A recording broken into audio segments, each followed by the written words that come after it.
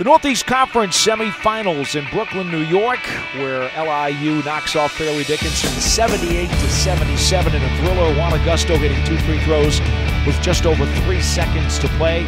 Paul Dottino and Terry O'Connor with you, and the Blackbirds just didn't give up. Uh, Caleb Bishop missed a couple of foul shots at the very end for Fairleigh Dickinson, allowing Agosto that opportunity.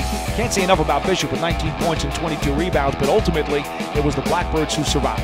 Well, it was just an excellent ball game, Bishop was outstanding, but for the Blackbirds, Hernandez, Clark, uh, just both ends of the floor, especially Clark defensively did a tremendous job.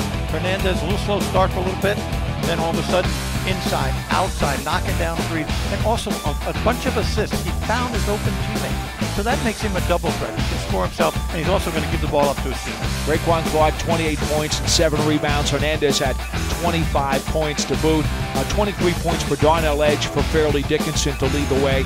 But again, not enough. And for the Blackbirds, they now take on the winner of the Robert Morris Wagner game on Tuesday night at 7 o'clock in the Northeast Conference Championship game. It's the Blackbirds' first trip back to that game since 2013. Well, they've worked real hard. We had a game a couple weeks ago here where they beat St. Francis Brooklyn, and the momentum has carried now. And they had the momentum today. They lost it. They got it back again. They've got some swagger going into the championship game on Tuesday night. LIU knocks off Fairleigh Dickinson in the NEC semifinals 78 to 77.